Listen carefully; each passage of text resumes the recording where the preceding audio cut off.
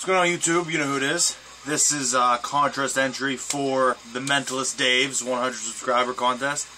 Uh, good job there. Um, I just hit 100 myself, and it's, it's quite an accomplishment, I feel. Um, congratulations for that. He has three questions, and those three questions being um, what superpower would you want and why? Who would you want as a sidekick and why? And your dream team. So I'm going to answer them in the order that he asked them. Uh, first, what superpower would I want? And I know it's kind of generic, and I know a lot of people probably said it, but I would love the healing factor. I mean, Wolverine's healing factor.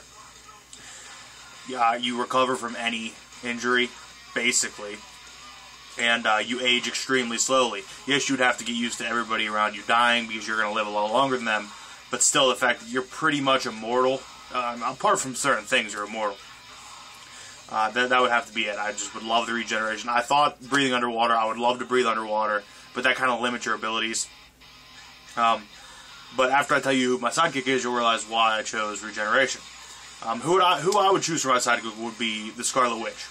With her hex powers, her probability control, she could basically, I mean, in theory, give me any superpower because she could change the probabilities that I don't have it, and I could if I could have it.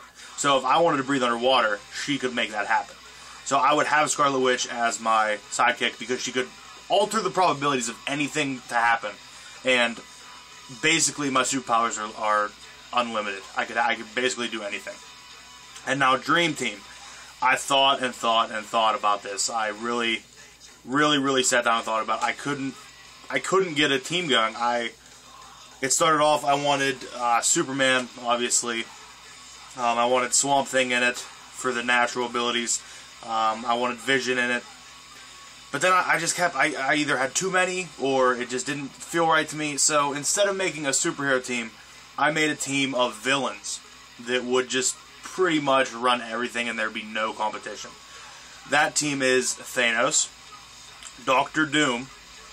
I, I mean, I know these guys are probably not going to work well together, but this is just the theory that they that they they, they, they, they will. In my theory, they do. Thanos, Doctor Doom, Darkseid, Ultron, and Lex Luthor. You basically have every base is covered with that. Everybody is destroyed with that. And I'm pretty sure those five together could take out Superman.